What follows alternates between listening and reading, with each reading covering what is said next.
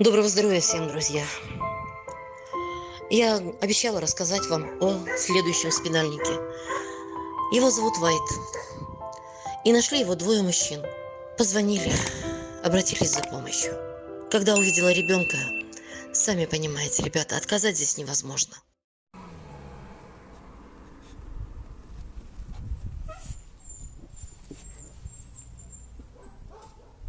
Походу позвоночник у него. Задние не двигаются. И я очень благодарна и Андрею, и Евгению за их неравнодушие и их решительность. Побольше бы нам таких мужчин. История Вайта, она не единственная. Таких много. Так как перелом спины затягивать никогда нельзя. Вайт в ночь выехал из Чехова в Липецк к доктору Баркову. Я прошу вас, если вам попался на глаза переломанный зверь, который ползет на передних лапах, спешите в клинику. Спешите сделать снимки. Тогда вы спасете им жизнь. Не во всех случаях, но в большинстве. Очень часто жизнь спинальника в ваших руках. И чем быстрее сделают снимок и оценят его травму, тем реальнее спасти ему жизнь и помочь. Это очень важно, мои хорошие. Не затягивайте снимки спинальников. Если у вас нет денег, бейте в колокола, обращайтесь к друзьям, обращайтесь в любые организации и зоозащитные группы. И к спинальнику люди отзовутся, и обязательно хотя бы на снимок мы денег соберем. А потом уже будем решать судьбу дальше. Вайту оказали быструю помощь. Мы сделали снимки. Врач посмотрел и сказал, что перелом без смещения, а значит у ребенка есть шанс. Прошла неделя. Но самое страшное другое, ребят. Где ребенок хватанул инфекцию, мы не знаем. Какой инкубационный период, тоже не знаем. Ребенок прошел через несколько клиник а, по консилиумам и по снимкам, и КТ, и МРТ, все. Гадать не будем и никого винить тоже не будем. Мы сейчас должны думать о том, как помочь и как спасти.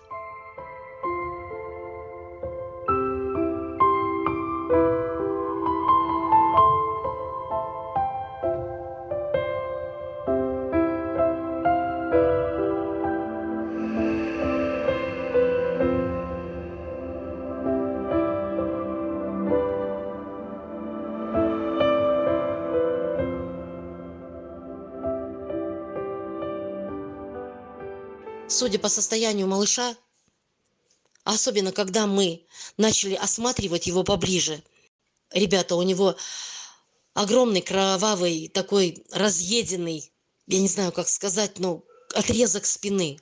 Страшная рана. За неделю, за неделю мы ее подлечили. Вы представляете, что испытал это дитё? Что оно испытало? В общем, знаете как? Наваливается все кучей на одного. За что? За наши грехи. Ведь не может быть, чтобы нагрешил щенок, правильно? Ребята, мне кажется, наш мир, он снимает с нас весь негатив. И за него же расплачивается. А мы об этом не задумываемся. Просто проходим мимо. Оглянитесь, остановитесь, замрите. Подумайте.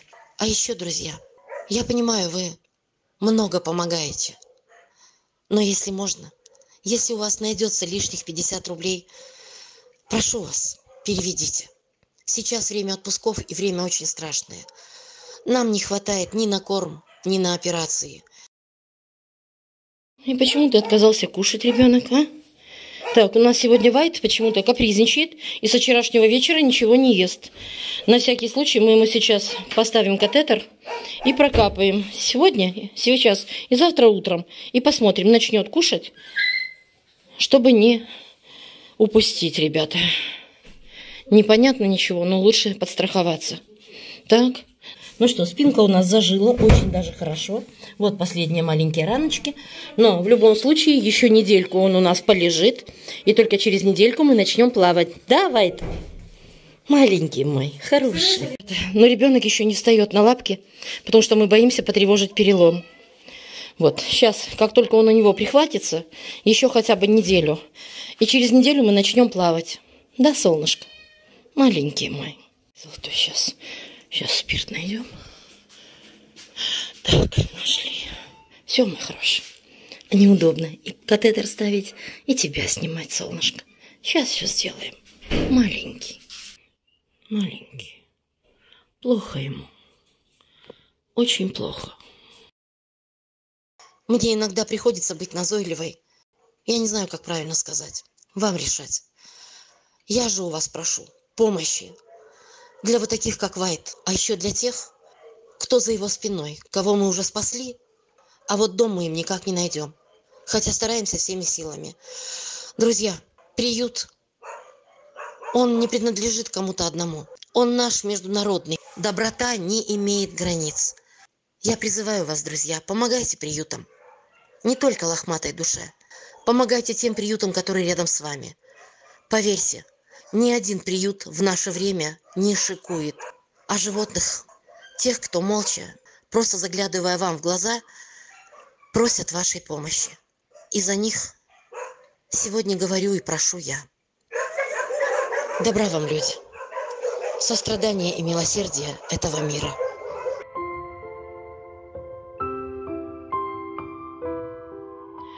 И сегодня, ребята, он как выдал нам огромную кровавую лужу. Просто огромную. Так, ребят. Это энтерит. Мы не знаем, где ребенок его хватанул, но это энтерит. Сейчас, когда он обессиленный, у него вылезает все подряд. Да, солнышко? Маленький мамин. Все будет хорошо, детка. Все будет хорошо. А это, друзья, соседи Вайта. Нам набросали кучу крошечных деток. Я сейчас зайду с другой стороны, чтобы показать поближе.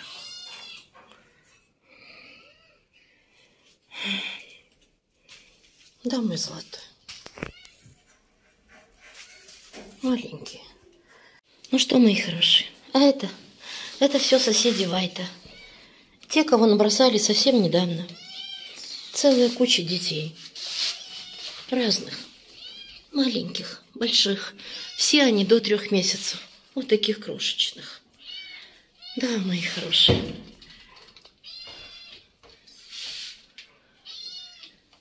Что, ребятки? Капаем Вайта в другой комнате. Здесь только сейчас именно даем противорвотное, и чтобы немножечко заработал желудок. Это необходимо. Это необходимо. Все остальное у ребенка есть. Да, мамушка. Никто не побеспокоит, все чистенько. Своя раковина, чтобы мыть попу. Это специальный такой карантинный небольшой отсек, где самые тяжелые. Они соседи Вайта. Рядом Вайт. Неудобно, но вон он лежит. Вайт, ты мой хороший. Вот так. Рядом. Представляете, сколько детей? Сколько и как страшно брошенных детей. Маленькие. Мои хорошие. Мои маленькие. Мои хорошие.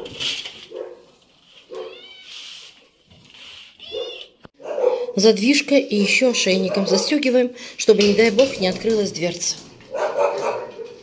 Окошко открыто, детям здесь удобно. Не первый раз, не первый год.